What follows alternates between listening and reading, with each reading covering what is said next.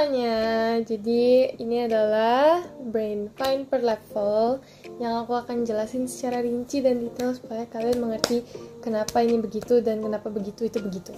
Oke, mari kita mulai. Temani ia untuk bermain sebentar. How?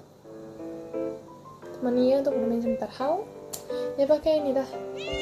Cung, cung, cung, cung. Nah gitu. Sampai dia terbang. Nah, kalau lihat ini kayak gambar ini kayak gambar kucing animasi Jepang. Cakar kucing itu imut sekali. Hmm, itu antara bulu atau cakar. Next